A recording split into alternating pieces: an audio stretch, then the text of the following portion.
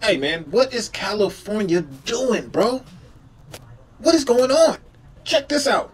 Did you see they just uh, did some weird law with house insurance in California? Yeah, they removed house insurance out there. State Farm is pulling out of that market. Kind of feel like some something massive is going to happen. Yeah. Either some kind of earthquake or something. They don't want to be responsible for it. Wow. I mean, think about it. Why would an insurance company pull out of the whole state? Yeah, it's never happened Right. before. I mean, you got Oklahoma, you got Texas, they got hurricanes, tornadoes, but California, they're like pulling completely out. They want nothing to do with the market. crazy. Mm, they don't even care about the monthly payments or anything like that. They know something that we don't. Some details sure. that they're not giving because the insurance companies usually don't pull out of the market.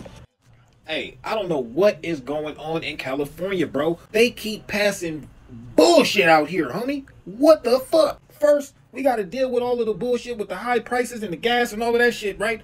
Then you got we got to deal with with y'all trying to uh indoctrinate the kids and attack the kids and try to do this gender shit and this uh this affirmation and this these these these these hormone change hormone changes and sex changes with the kids. Like we got to deal with that shit, and then we got to deal with the housing market going up, and now y'all want to pull this shit? Like, god damn. You see how long I went on? There's a lot more that's going on in California. I'm just not aware of it. But the stuff that I am aware of is nuts, man.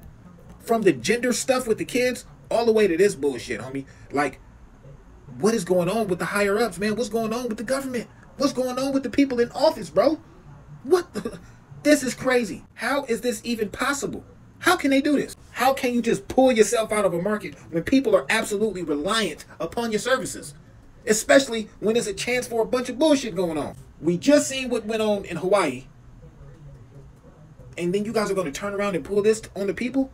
If anything, you guys should be rolling your, your sleeves up, getting ready to go with the blows. But no, you guys just throw in the towel and just leave everybody out to dry. Like, y'all basically just said, fuck all you. Fuck all y'all. But I don't know, man. To me, this is something major. Like something major. I don't know. Like, am I tripping? I want to know what y'all think and what y'all feel about this, man. Am I overreacting about this? Because this is something small. Nah, this ain't even small. This is a huge move to to show you what, what what's possibly going to be a huger move in the future, man. Like I said, am I tripping, bro? Am I am I tripping, man? Let me know in the comments. Let me know how you feel and what you think about this in the comments, man. Please.